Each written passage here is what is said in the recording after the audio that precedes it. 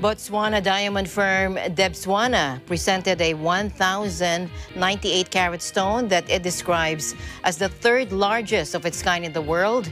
The stone found on June 1 was shown to President Mokgweetsi Masisi in the capital Gaborone. Gaborone, take a look.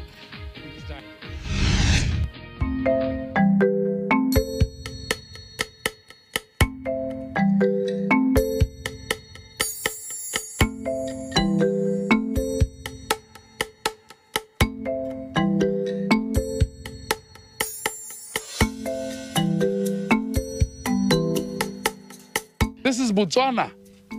That's my take home. This is Botswana. Everything we have heard is a unique Botswana story. Our national development needs will in part be met by the proceeds from this diamond.